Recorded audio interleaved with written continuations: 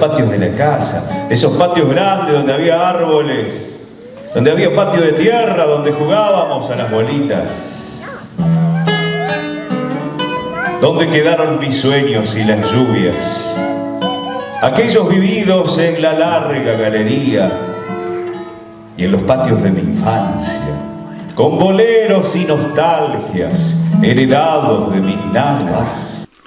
Si lo dice la radio, un espectáculo que de alguna manera trata de formar lo que es la palabra, lo que es la actuación, el dibujo, y bueno, hay muchas cosas que nos van a contar, porque la música está muy presente. Pelota de fútbol, ¿Eh? Jesús Amaya, el amigo Han. Jesús, ¿de qué se trata? Se dice de mí. ¿Qué pasa? ¿Cómo va? Se dice, esa es la historia, ya pasó, ya, ya fue, así que bueno, esto es como viste, como con el diario del lunes. Eh, va a salir este sábado. Y bueno, fue el, sábado pasado un espectáculo en el Teatro Municipal eh, con casi 50 artistas en vivo en el cierre de la noche, los que fueron, seguro que no se lo van a olvidar. Por suerte, a pesar de la fecha y toda, viste que ahora egresos, millones de despedidas de años, eh, nos han pasado la fecha, nos dieron ese, este último fin de semana largo del año y a pesar de eso, tener el teatro municipal al 80% de la capacidad, sobre 517 butacas, creo que es un buen, buen número. Ahora, cuando, perdón Jesús, cuando hacemos referencia, si lo dice la radio, ¿cómo me eh, sintetizar el espectáculo? Es, simple, viste que siempre, o sea, si lo dicen los medios, si lo dice la radio, hasta hace muchos años era la radio únicamente. Entonces, te cuento lo que fue la obra de teatro, porque fue una obra de teatro. Eh, yo tenía un bar que inauguraba esa noche, como músico tenía que sí o sí, digamos, la única opción mía de poder tocar en vivo, que me llamaran era teniendo un bar propio. El sábado 10 de diciembre era la inauguración del bar del 2016.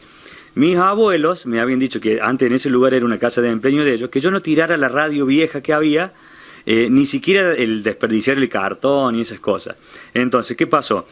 Yo lo primero que hago cuando inauguro el bar va a ser tirar la radio y todas las cajas de cartón y todo que, que, ya molestaban en el bar las tiro. Entonces ahí ya rompí con el legado de mis abuelos y mis bisabuelos. Entonces, esa misma noche, ese sábado 10 de diciembre, fue en el año 1960, también fue sábado y ahí parece que por una onda de radio, Abel Ledesma, o sea, personificado en la radio de los 60, ¿no? Aparece en el mismo momento en el bar, porque la inauguración era sábado 10, nunca, nunca supieron de qué año. Y aparece para proteger a la radio, para asegurar que la radio no se tire, digamos, ¿no? Y para revalorizar lo que es la radio. aprovechamos la intervención de Ham para preguntarle, bueno, de qué manera se fue acoplando esta idea, si lo dice la radio, ¿no? A través del dibujo, pues ha trabajado mucho en el teatro, el cartón, ¿de qué manera? Y la, a través de un poco trabajando en nostalgia. La nostalgia siempre creo que une a todos nosotros, porque siempre estamos pensando qué lindo que fue aquello, ¿no es cierto? Y eh, Jesús está haciendo los contrapuntos para después aprender que sí, vale la pena la nostalgia. Yo represento a alguien que viene del futuro, aprovechamos que hablo para atrás, digamos, para resignificar eso, y desde el futuro también revalorizamos la radio, como que ya no hay más tele, no hay más internet, porque nos damos cuenta que estas cosas eran fantásticas, ¿no? Escuchar una voz del éter con un mensaje interesante, siempre muy lindo. Entonces, entre Abel y yo hacemos la contrapunta a Jesús para que Jesús finalmente se da cuenta que sí, vale la pena la radio. do da da da da. Viene tu época. Para pam para para para para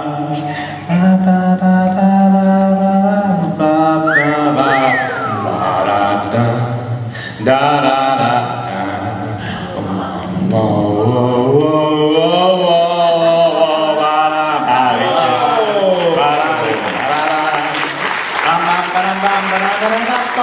Jesús con una participación de los alumnos de Abel, tus alumnos, tus propios solistas, de los grupos, esto es muy bueno, ¿no? Una integración. Claro, era cómo pensar, o sea, una muestra de año diferente a la que todos los años vos, ves siempre una academia de danza, bailan todos los chicos, que es hermoso, pero que vos vas a ver a tu chico y los demás te los tenés que fumar, ¿viste? Entonces, ¿cómo hacemos para hacer una, una obra integral? Que esto ya lo habíamos pensado en febrero, ¿eh?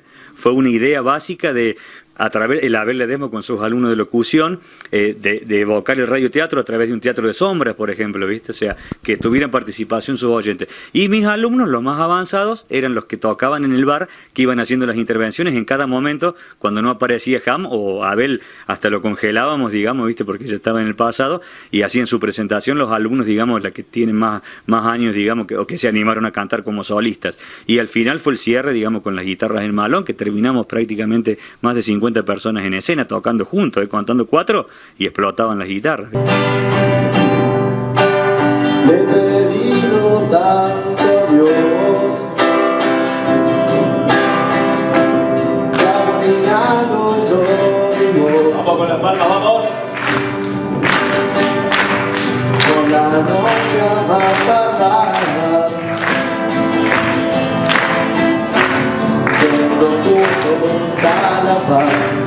Eh, digo, qué lindo, ¿no? Esta reivindicación, eh, de alguna manera, de la palabra, pero también de la radio, ¿no? Y esta idea que, la idea de ustedes es trasladarlo también a la región para que vean este espectáculo. Sí, sí, queremos llevarlo por toda la región. Me parece que encima buscar gente en cada pueblo donde vamos que también pueden participar, igual que los alumnos acá participaron de este espectáculo, porque no podemos llevar 50 alumnos con nosotros, pero sí podemos buscar gente en cada pueblo para que de la zona para que subiera con nosotros. Un,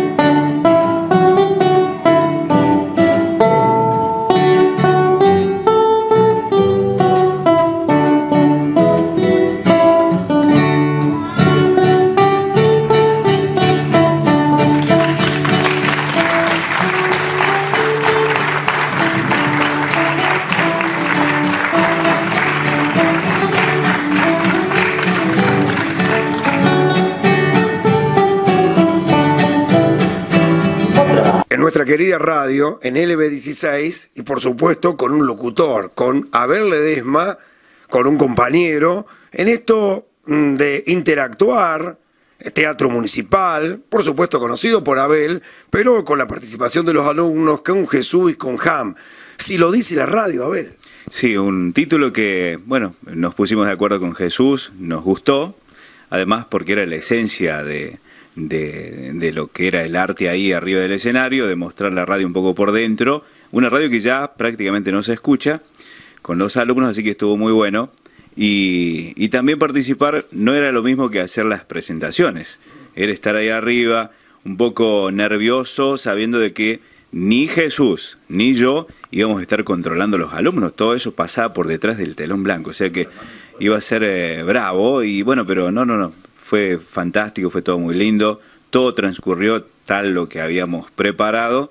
A lo mejor en los ensayos, viste, como son, te hacen renegar. Yo decía, uy, no estamos al nivel de lo que yo pretendía.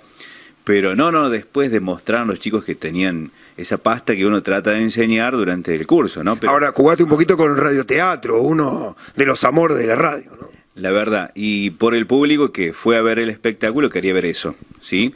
La, primero, la interacción entre un humorista como Ham, entre lo que hacía Jesús, mostrar a sus alumnos, la guitarra, todos los temas que tenían un hilo conductor como para seguir eh, lo que nosotros veníamos haciendo, y los radioteatros, escribir el radioteatro, que eran todos textos nuestros, y después los chicos, ¿no? Salir un poco del curso de locución para entrar en la actuación. Y fue muy lindo, bueno, mostrar un poco los efectos, que era tan sencillo todo y que uno en esa época pensaba como que estaba en un estudio de Hollywood, ¿no? Pero, pero era la imaginación. De la imaginación vamos con otra historia muy importante, la historia de la vida misma. ¿De qué se trata esto CD que me está mostrando? Bueno, este es un trabajo que salió de la participación de los oyentes, porque ellos siempre envían material por internet a nuestro correo electrónico que abrimos para tal fin, que se llamó certamen de reflexiones arroba gmail.com. Entonces, ahí nos tenían que mandar material. Eh, muchas de estas reflexiones son extraídas de libros, de mismo internet, y otras son creaciones de ellos. Hay oyentes que escriben muy bien, entonces mandaron el material, eh, con el sitio Guitarra Paso a Paso sacamos ahí artistas de diferentes partes del mundo, quienes leyeron el material enviado, que fueron como 200 y pico, y se eligieron 20 finalistas. Así que de esas se grabaron con una artística de Jesús Amaya en guitarra, o sea que es todo original, los arpegios, ¿no? Y se grabaron con muchísimo cariño en calidad de, estudio, así que quedó un disco muy bien diseñado también por Jesús, tanto la tapa, ¿eh? la contratapa, así que las 20 reflexiones finalistas fueron subidas a YouTube, se compartieron, casi todas estuvieron por arriba de las 500 visitas, bueno, y las, las tres finalistas, las ganadoras, arriba de las 1000 visitas, así que fue una respuesta muy buena. Susana, ¿cómo se te ocurrió esta idea de si lo dice la radio? Bueno, me pasaron la pelota, entonces bueno, vamos a hablar. Te cuento. Eh, en realidad era conjugar dos talleres, que es la idea, un taller de locución, un taller de guitarra. Eh, y le- cómo buscar una línea central de que una esas dos, esas dos historias. En realidad el teatro este nos pudo dar la posibilidad de un telón blanco y hacer un teatro de sombras que estaba como proyectado, bueno, y jugar con los tres tiempos, o sea, el pasado, el presente y el futuro, que con una misma idea. Y además siempre la radio presente, que es importante, siempre intacta, ¿no? Claro, o sea, la radio siempre fue muy, yo hago una voz en off al principio, de lo importante que es la radio para en los corazones de la gente en su momento. O sea, que era como un, un diario sin, sin papel y sin distancia. Auspició este bloque.